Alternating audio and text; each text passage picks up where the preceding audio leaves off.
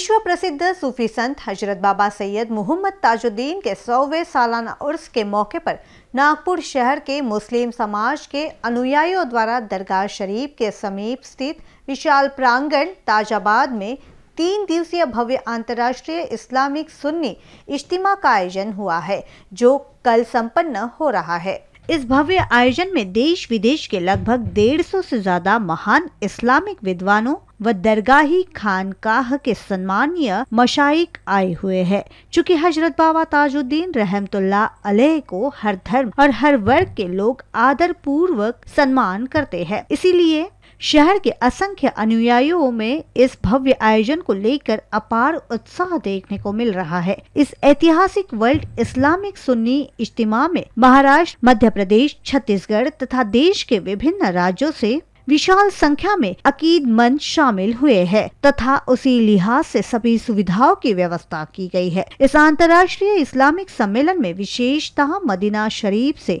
विश्व प्रसिद्ध सुन्नी इस्लामिक विद्वान हज़रत शेख सैयद अबू जाफ़र लुई अल मुकर हफीज लुल्लाहू व रहाऊ साहब किबला ने प्रमुख अतिथि के रूप में अपनी उपस्थिति दी। कार्यक्रम में रविवार को ईशा की नमाज़ के बाद इज्तिमाही दुआ के साथ संपन्न होगा, जिसमें विशेषता मुल्क की तरक्की के साथ साथ विश्व शांति के लिए दुआ की जाएगी। इस विशाल सम्मेलन के आयोजक अल जामिया तुर्ज विया दारुल उलूम अमजदिया के कार्यकारी कमेटी के सेक्रेटरी मुफ्ती मुश्तबा शरीफ खान व समस्त पदाधिकारियों ने बड़ी संख्या में अनुयायियों से विशेषकर विद्यार्थियों से इस सुन्नी इज्तिमा में शामिल होने की अपील की है।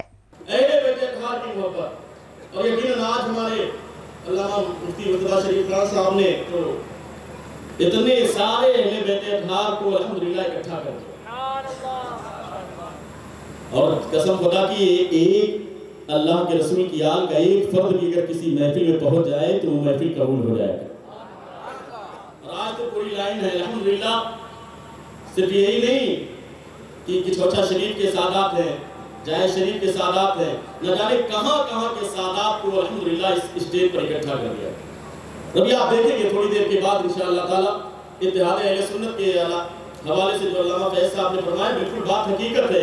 अल्हम्दुलिल्लाह, आज बाबा ताजुद्दीन औलिया के फैजान से इस नागपुर की सरजमीन पर ये तारीखी काम हुआ है। कि अल्हम्दुलिल्लाह, इस स्टेज पर अल्हम्दुलिल्लाह बरेली शरीफ के मशाइख भी मौजूद हैं और अल्हम्दुलिल्लाह कुछ देर में आप देखेंगे कि चौथा शरीफ के मशाइख भी मौजूद होंगे, बल्कि हिंदुस्तान की बड़ी बड़ी खानकाहों के मशाइख को अल्हम्दुलिल्लाह यहाँ पर इकट्ठा कर दिया।